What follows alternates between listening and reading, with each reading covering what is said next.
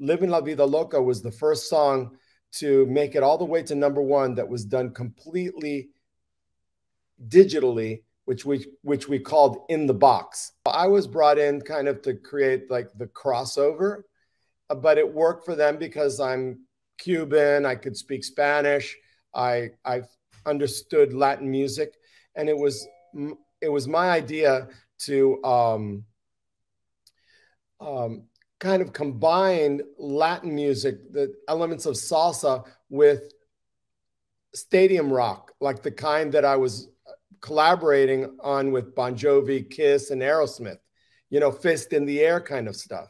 So if you listen to the uh, chorus of uh, Living La Vida Loca, it's like upside, inside out, a chant, Living La Vida Loca.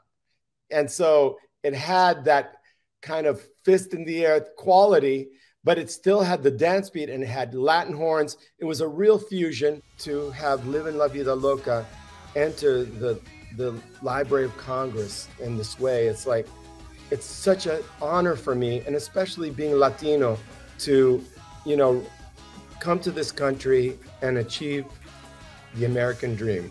Thank you.